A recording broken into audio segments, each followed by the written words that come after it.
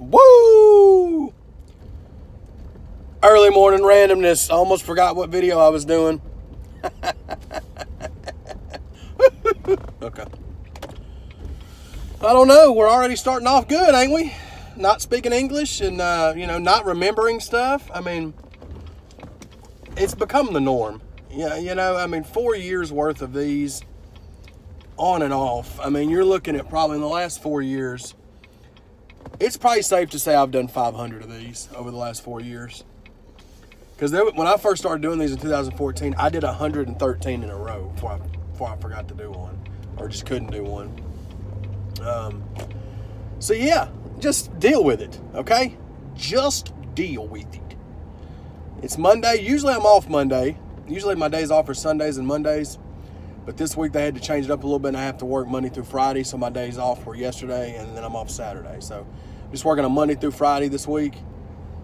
Um, so yeah, just looking forward to it. You know, I mean, God, just looks like it's going to rain. I mean, yeah, hey, Mother Nature's getting it. She's getting it in. She looked after us though on our trip this weekend. It was supposed to rain all day long Saturday when we went to Chattanooga, but it didn't really start raining on us till the very end of the night. When we were going back to my buddy's house, so that worked out worked out nice. All the shit I talk about Mother Nature, and she took care of us that day. She's gonna get it on the back end though. She's gonna find a way to just piss uh, just all over our life. But uh, hey, if y'all haven't yet, be sure go on my page right now. I uploaded a new song uh, with my homeboy B Howard called Layup. It's produced by Nice, and I love it. It's getting good reception. Um, looking forward to that. That's going to be on the, the Baker's Dozen project.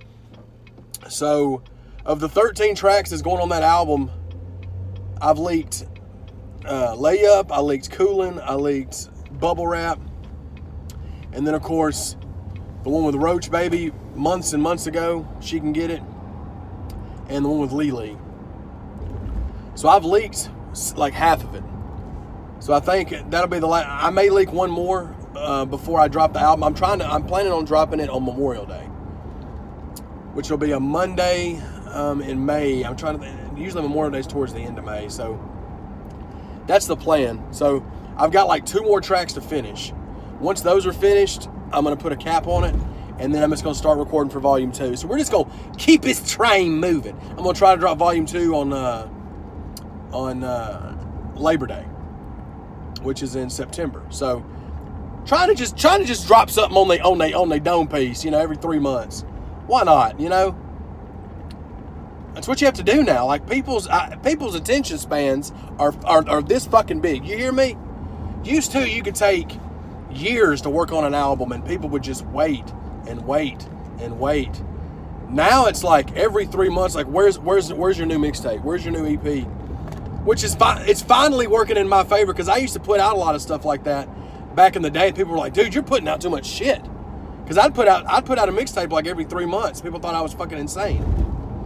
Now I was a fucking head of my time apparently because now it's like if you don't do that, you fucking fell off. So just the good thing about it is I do whatever the fuck I want. Okay, that's the beauty about you know just being on just doing your shit independently. You just do what you want when you want to do it.